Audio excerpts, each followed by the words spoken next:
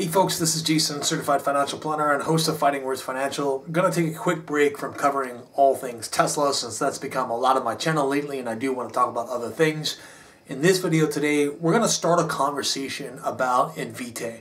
And when I say start a conversation, I'm hoping to learn just as much from you guys in the comments as you might learn from me in this video. If you don't know who Invitae is, they're a company that specializes in genetic testing and specifically genetic testing for disease diagnostics. Now, I have more than a passing interest in genetic testing. I took a genetic test two years ago, one that's available to the consumers, and uh, it set off an odyssey of discovering new family members, solving uh, ancient uh, family mysteries, and kind of lifted the shroud surrounding my own birth, you know, since I was adopted. Now, I should disclose that I don't have a position in this company Invitae, uh, except through an ETF, and I'm unlikely to purchase this stock in the future. Not because I don't like the stock, uh, it's really because I don't know enough about genomics and I don't know enough about biotech in general to make an informed decision that gives me the confidence to have a concentrated bet on a company like Invitae. My interest in this company, Invitae in particular, is due to the fact that it comprises so much of ARK Innovations uh, ETFs, uh, you know, the funds that are run by Cathie Wood. In fact, the ARK Innovation ETF, ARK-K, it actually comprises 8% of all of the holdings. Now, I think that most of my subscribers are probably familiar with ARK Invest and know that I'm a big fan of Cathie Wood, but I have to be honest, I don't get why this company in particular is such an outsized portion of her portfolios. What I'm really looking for in the comments is your help to understand why ARK Invest thinks that this company, Invitae, is so important, especially when there's so much competition in next generation genomics. So what does Invitae do? They offer genetic testing for a variety of clinical areas, including hereditary cancer, cardiology, neurology, pediatric genetics, metabolic disorders, immunology, hematology, and other types of cancer studies. Invitae's focus for adults appears to be on proactive testing as an option for healthy folks who want to understand their genetic risks and focus on prevention. Test results are supposed to have a medical basis and be clinically actionable. For pediatric testing, the focus appears to be on developmental disorders and congenital anomalies. Invitae's mission is to bring high quality genetic testing into mainstream medical practice. Now, it's been more than a decade since privately held companies like 23andMe and Ancestry.com, which is where I did my genetic testing, uh, it's been about a decade since they started to popularize genotyping, which is a method of looking at genetic differences in a person's DNA. Now, a scientist can use these tests to determine things like gene genealogical makeup, hair color, and whether a person has a genetic risk for some diseases. 23andMe has tests for a number of disease variants, and I occasionally get updates by email letting me know that more genetic reports are available. But this type of test is really far from exhaustive or even complete, and Ancestry is just starting to offer you know, certain types of health screening, and 23andMe has been offering these limited health screenings for quite some time. There's an entirely new crop of genetic testing companies that are expanding the market with next generation sequencing. Invitae, for example, offers a suite of tests that can be ordered online by the consumer using telemedicine. Other companies like Natera require a physician to order the test. Now, most of these companies also employ genetic counselors who can help patients interpret the risks and results. Next generation sequencing examines the human genome and the human exome. The genome is the complete set of DNA that, you know, makes up who a person and what a person is. The exome comprises about 2% of that, well, an estimated 20 to 25,000 genes. Now, these genes code for protein synthesis. Many, many diseases stem from proteins that have been coded improperly. Sequencing a whole genome, unlike your 23andMe and your ancestry test, isn't cheap. And when 23andMe launched its genetic test in 2006, the cost to sequence a whole genome was close to about $10 million.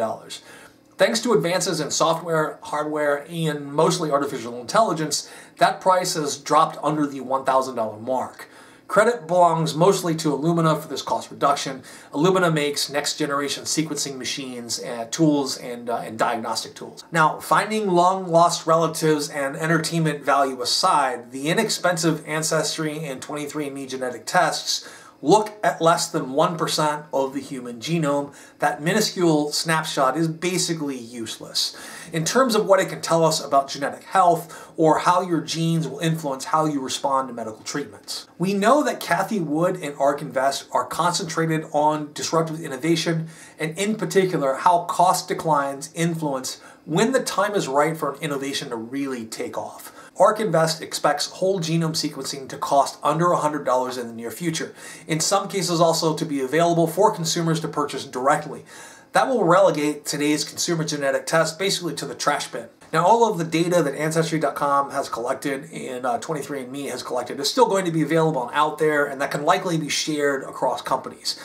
This does cause some privacy concerns, and in fact, there are a lot of people are concerned about privacy issues surrounding gene sequencing. There are more than a thousand genes that indicate a heightened hereditary risk of breast or ovarian cancer, and most consumer genetic tests don't look for very many of these variants, maybe 50 at most. The ARK Invest prediction is that in five years, you're going to have new technologies, sequencing technologies, that are going to be just as affordable as the near useless consumer tests today, but they're going to offer tens of thousands of times more information that's going to be clinically actionable. The scientific community is still in the very early stage of understanding the human genome, and new discoveries are being made in genetic science all the time. Invitae's mission to bring high quality genetic testing into the mainstream medical practice, for example, could lead to an era of precision medicine in which treatments for cancerous tumors are tailored for the genetic mutations of that particular tumor.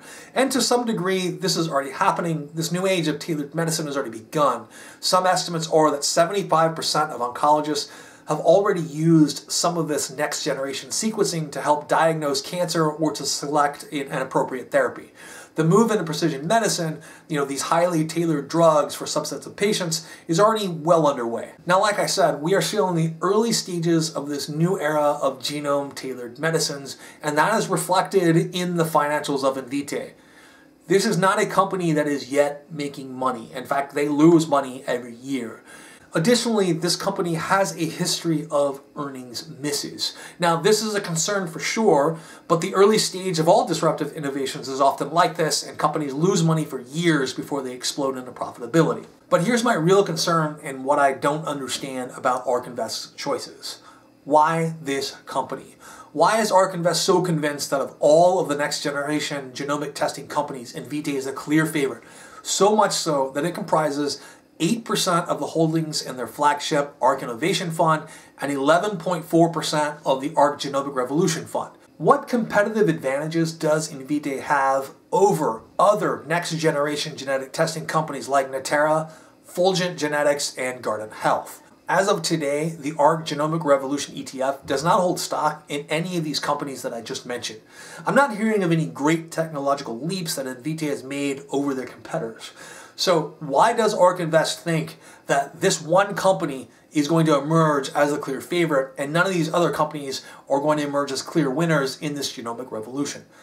I look forward to hearing your views in the comments. I'd love to know about some technological advantages that either I missed in my research or maybe technological advantages that I just simply didn't understand. Let me know what you think in the comments below. Thanks for watching, guys. Once again, this is Jason, Fighting Words Financial, and I look forward to seeing you guys next time.